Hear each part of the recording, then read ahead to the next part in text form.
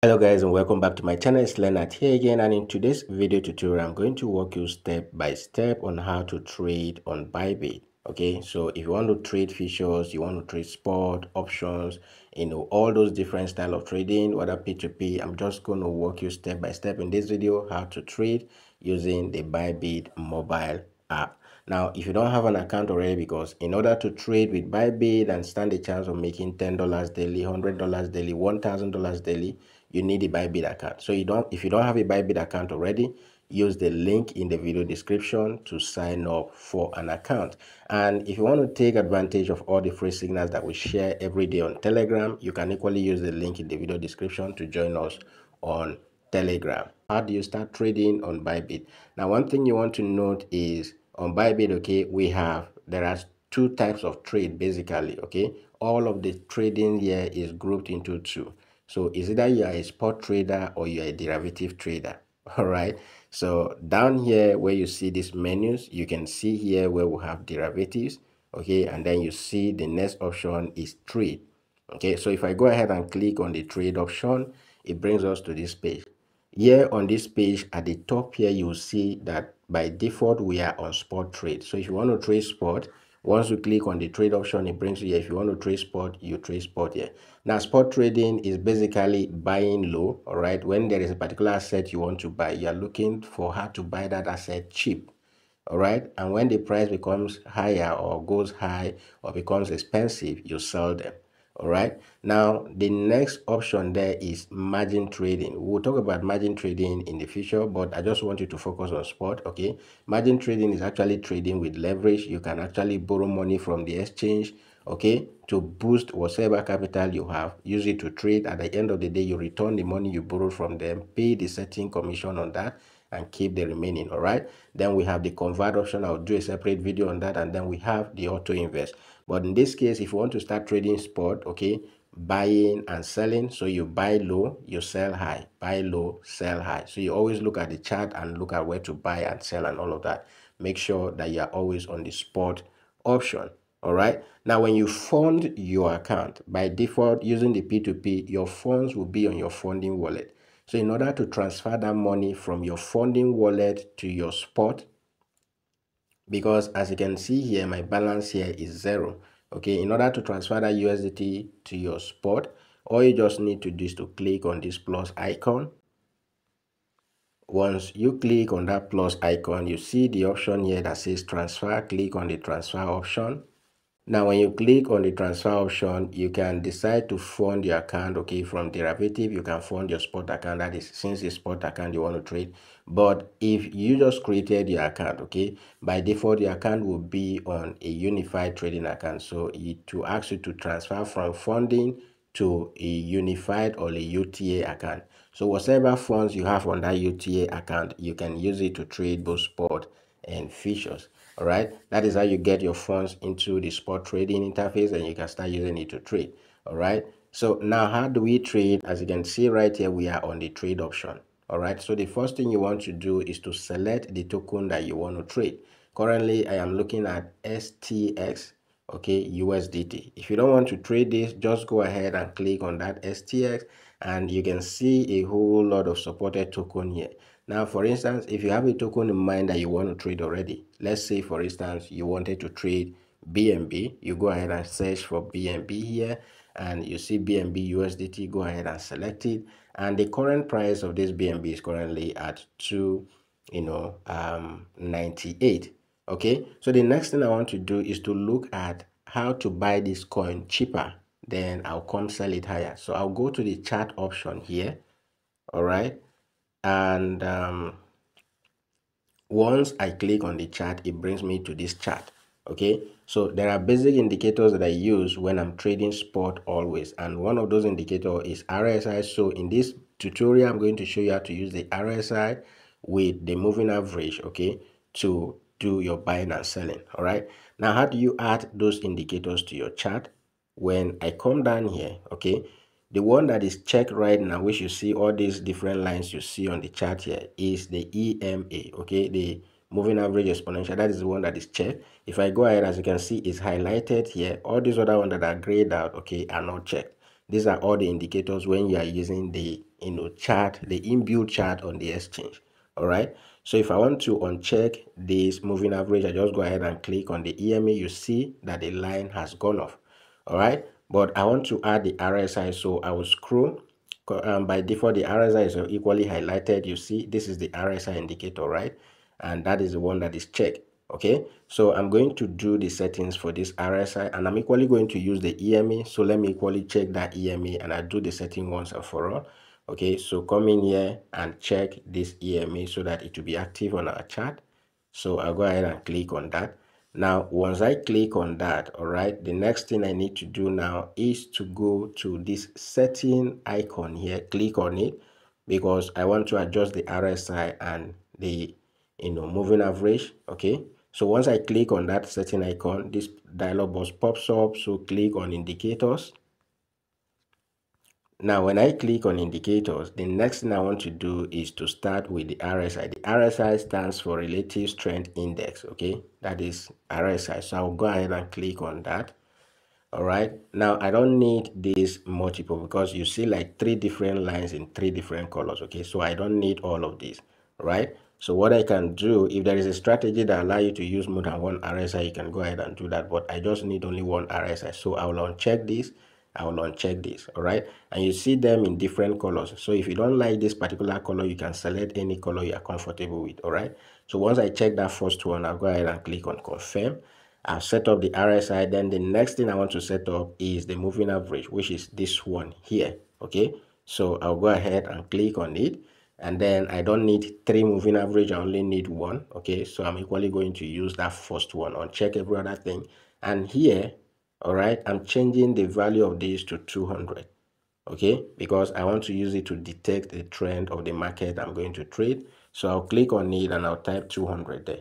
All right, so once I type 200, go ahead and click on confirm, and then I can go back and go back again so this is what i am basically looking at all right so this is our moving average okay this line you see on the chart is our moving average and then this is our rsi okay so basically um for whatever time frame i'm looking at okay the next thing i want to do now is to go to the one hour time frame because that is the time frame that i always like trading spot with all right so here on the one hour time frame remember on spot you are always buying low and selling high buying low and selling high. Currently, at the current price, uh, we are in a downtrend because we are below on the one hour time frame, okay? Because these candlesticks are trading, all right, below this moving average here, okay? So I'm only looking for when this candle will break out and then maybe a possible retest. I'll go ahead and take a long trade and all of that. Or I can start accumulating until when this will break to give us a you know, and a, a, a trend to the upside. All right. Just like you see here, when this broke, okay, the market came back and retest that EMA somewhere here. All right. At this area of accumulation, you would have accumulated a lot of tokens. And when this moved up, you would have sold.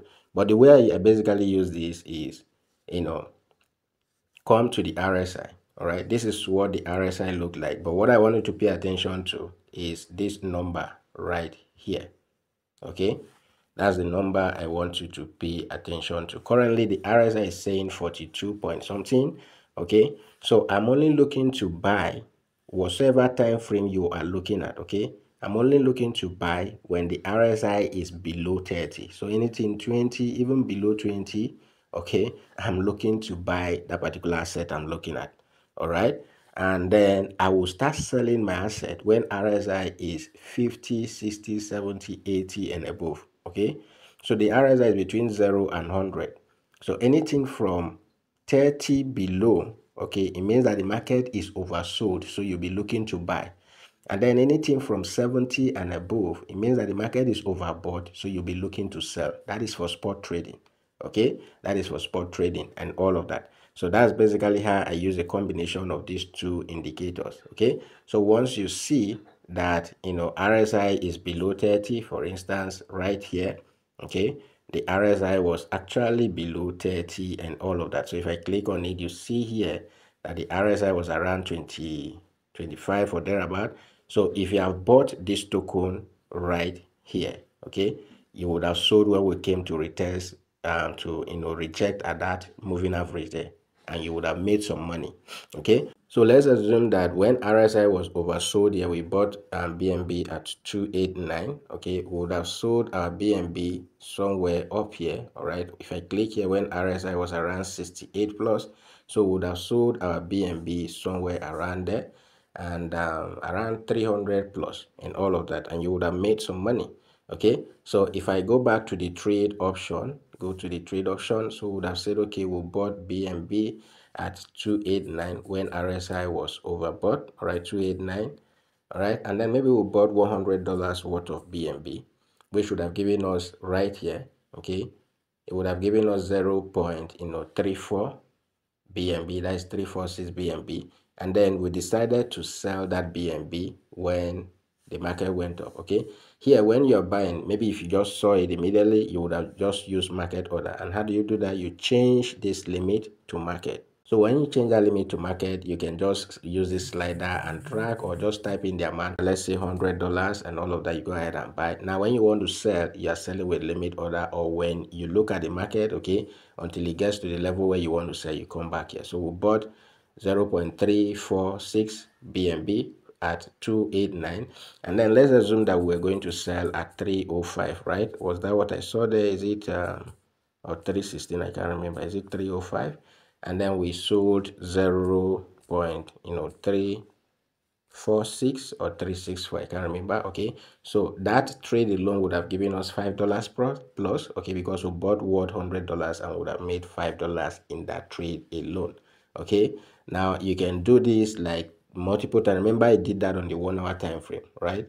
And on the one hour time frame, you can get up to two, three trades in a day. So if you do that two, three times in a day, you would have made some money for yourself. Okay, that is basically how you can trade spot on the Bybit exchange. Then the next trading option is the one we call the derivatives. All right. So if I come and click on this middle button here that says derivatives, I have trades that are currently running on the derivatives option. So it's the same thing. The interface is the same, right? So we have the trade option where we do the buying and selling, and then we have the chart option. Now under the derivatives, okay, up here we have USDT perpetual. Now it is called USDT perpetual because we need USDT here to trade on this. Okay, we can use USDT to trade, buy and sell any other asset that we have here. So when we make profit, will be settled in USDT. When we lose, we'll be losing the USDT we have. Here, you need USDC. Okay, but if you are using a a verified um a unified trading account, okay, you can use USDT to trade even USDC contract and all of that. Then we have the inverse. Under the inverse option, you need BTC. For instance, if I go ahead and click on that inverse option, let's say you are going to trade BTC, okay? If you were going to trade BTC USD, you will need here you will need the BTC itself, not USDT. Okay, so BTC itself is what you'll be staking, and when you make uh, profit, you'll be settled in BTC. Then the last option we have under derivatives is the option trading. On option trading, I will do separate videos on all of that. Okay, but our focus here is just the USDT um, Petra. Just like I showed you before, if you don't have your funds here, you can just click on this plus button and transfer your money, okay, to wherever you have it. But if you're using a unified trading, I can just transfer your USDT to the UTA account and you can use it to trade both spot and futures right? The same thing i just showed you on spot is the same thing you do here but the only difference here is that we are using leverage. So we have selected the token we are going to trade okay? And then we'll select the margin mode which is cross. Now cross will trade with the whole of your capital right? And then isolated if i click on that cross option so you see that we have um we have here cross and then we have isolated. Isolated if i have $1,000 on my account and I decide to go into a trade with $10. If for any reason I don't put stop loss and I get liquidated, I will only lose that $10. Okay. But for cross, if I have $1,000 on my account and I decide to go into a trade with $10 and I don't put stop loss and I get liquidated, I will lose the whole of the $1,000. All right.